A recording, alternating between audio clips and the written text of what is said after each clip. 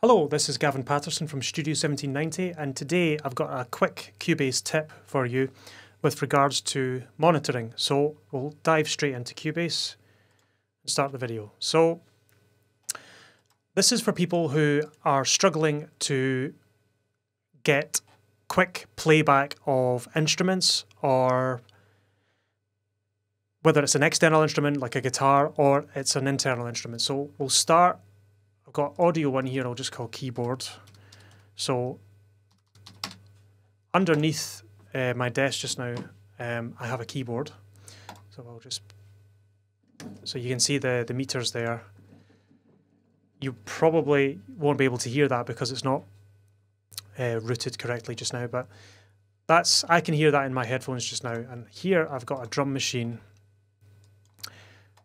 which you probably can hear. So the reason being is because this here is within Cubase. It's in the computer already and it only has to come out of the computer. Fine. So this is playing audio files from my computer hard drive and then just playing it through the speakers. But in the keyboard's case, this is an actual keyboard instrument, which is just here, is recording from the keyboard into the interface, into the computer, and then back out again. So you're going to get a processing latency. So the way I get around that in Cubase is I go to Studio up the top, Studio Setup. I go down to, so this is my interface tab. You go to VST Audio Systems, or the VST Audio System, and then make sure that your audio interface is selected. Mine is the Yamaha Steinberg uh, UR824 uh, 24 channel interface. So I click that. And then I, I've got this box here checked, direct monitoring. And what that does, uh, if I un if I uncheck it just now, I'll show you. Okay, you can hear the keyboard now. So the keyboard is being processed in real time and sent out the speakers.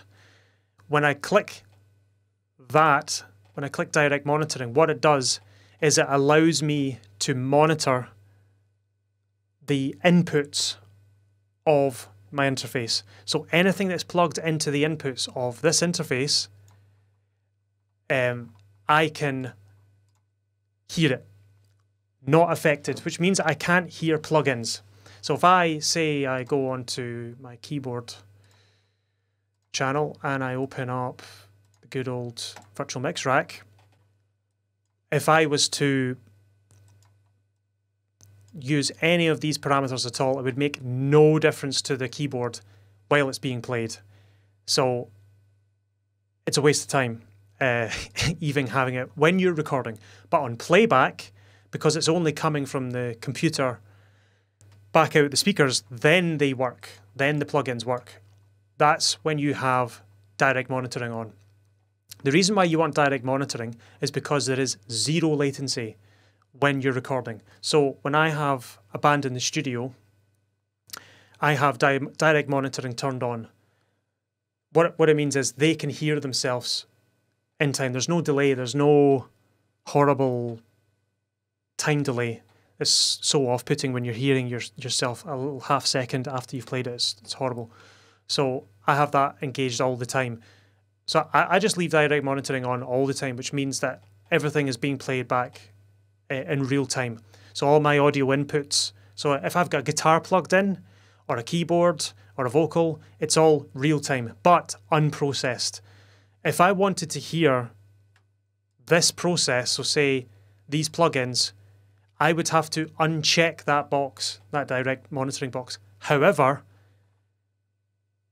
I'll maybe I'll maybe show you actually I'll uncheck it and I'll, I'll just, I'll play a note. Okay. There you go.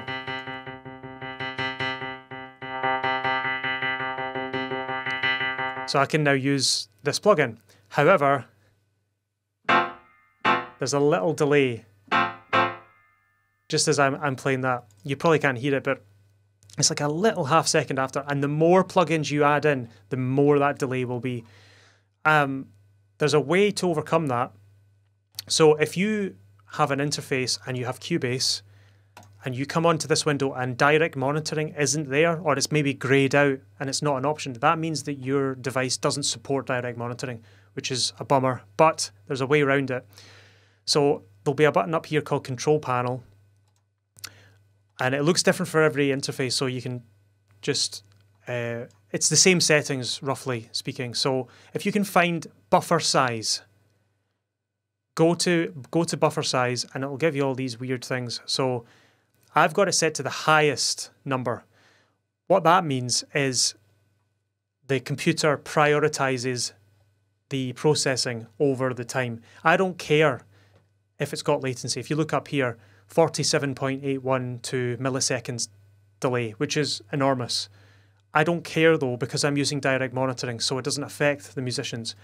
That is just a playback to me. I, I, it, there's going to be a little bit of a delay on output latency, 51.812 milliseconds output delay, but I don't care. That means when I press play, it will take 51.812 milliseconds to play, but who cares?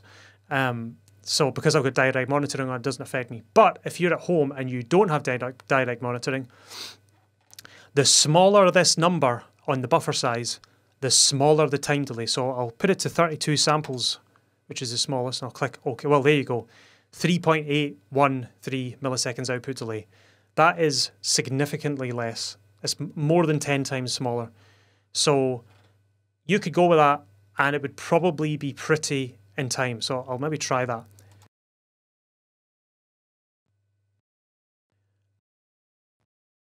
And that's it. So if I press a button on the keyboard, that's instant. That's I can't notice any difference there.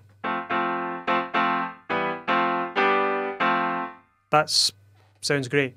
However, if you look down here, that's my CPU meter. It just went up a little bit because the CPU is having to work extra hard to deliver this latency.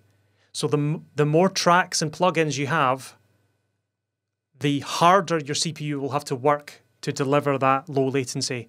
So you might only be able to have, depending on your computer, a small amount of tracks before it starts to break. So if you watch just now, if I turn on direct monitoring, it does nothing because the buffer size is still, yeah, because the, the output latency would be the same. So if I go back to control panel, so I'll put it back to 2048 samples, I'll click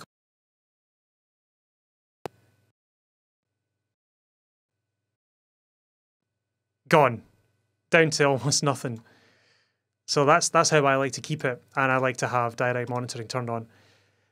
Downside is if a if a singer is like, oh, I want more compression, tough. I can't do it. No compression, um, no EQ.